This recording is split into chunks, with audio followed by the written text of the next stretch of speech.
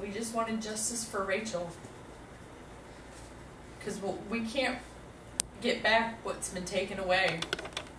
She, she's our daughter, she's a sister, she's an aunt, she's a granddaughter, she's a cousin. Our family is large, and we've lost our daughter that we'll never get to see grow up. We'll get to see her get married. We'll never get to see her have kids. So just we I don't want to see anybody else go through what we had to go through. This isn't fair. Nobody should have to lose a, a daughter or a child No, by should, somebody who's driving under the influence. we shouldn't have to do that, and then we shouldn't have to be doing what we're doing right now.